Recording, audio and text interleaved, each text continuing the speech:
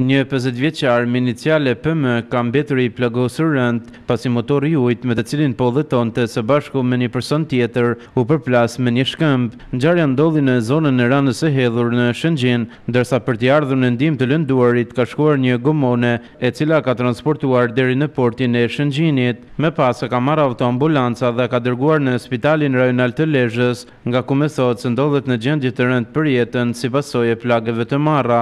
Dy mjetet e lundrimit janë bllokuar nga policia dhe ka nisur një hetim i hollësishëm në lidhje me ngjarjen. Motorët e ujit vijojnë të jenë shqetësim për pushuesit edhe gjatë këtij sezoni turistik në Shëngjin, ku shumica prej tyre ushtrojnë aktivitetin pa dokumentacionin përkatës.